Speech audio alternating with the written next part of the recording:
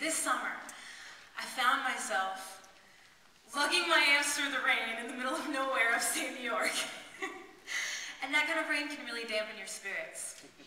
So I knew I needed something to shake me out of my head and get me into my heart and get me out of this bed and get me onto a new start. So I came up with this uh, mantra, this little idea of laughing in the face of the lion.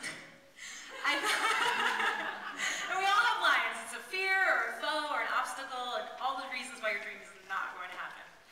And um, I thought maybe a bust open the doors better than a fist. Because suffering through your dream is no way to manifest it. And I had shed enough tears to know. So even though it looked like nothing had changed, something had changed inside. I had a gratitude shift.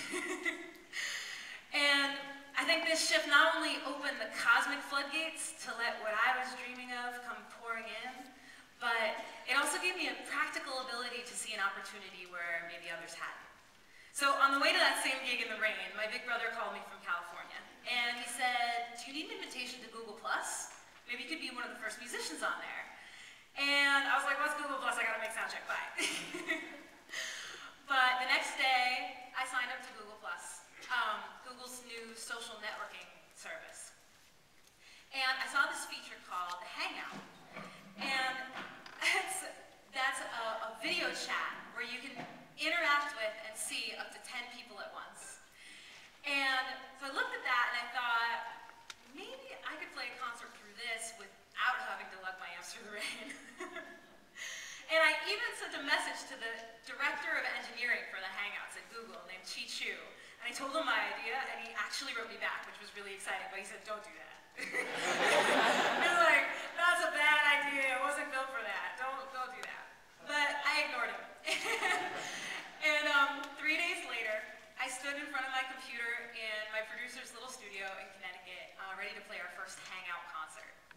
And at 8 o'clock on July 16th, I pressed the button start a hangout. And at 8.01, there was no one there.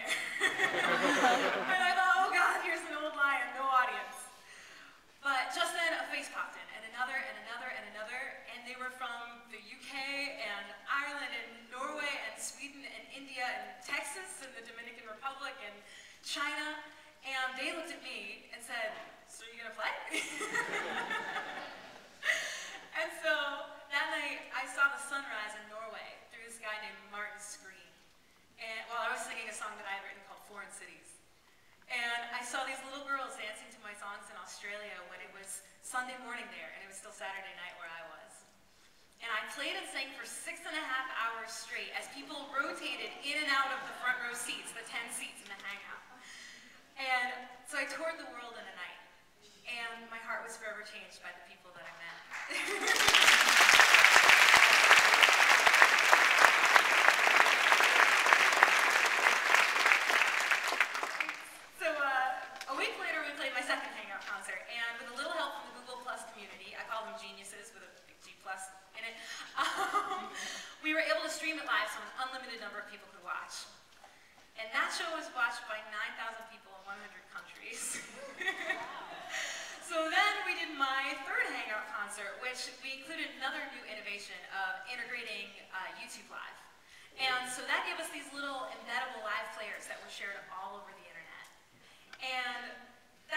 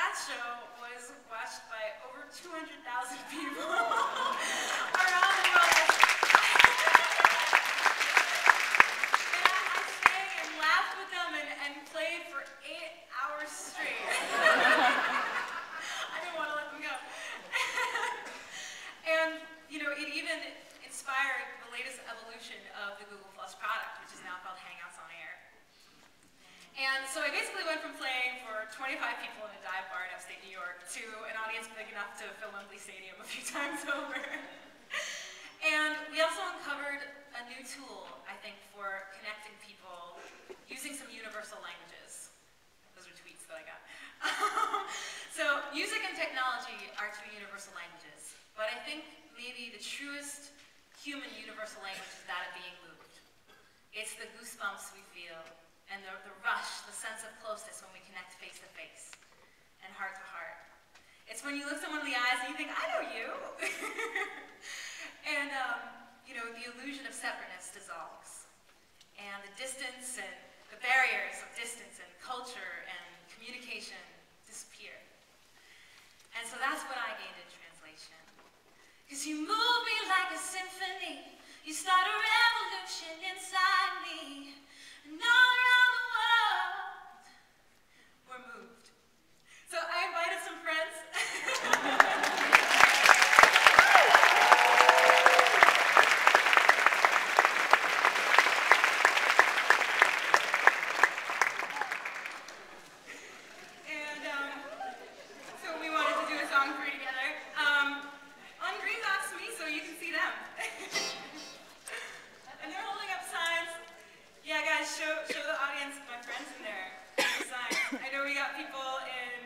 on green box me, you'll get to see them. There you go.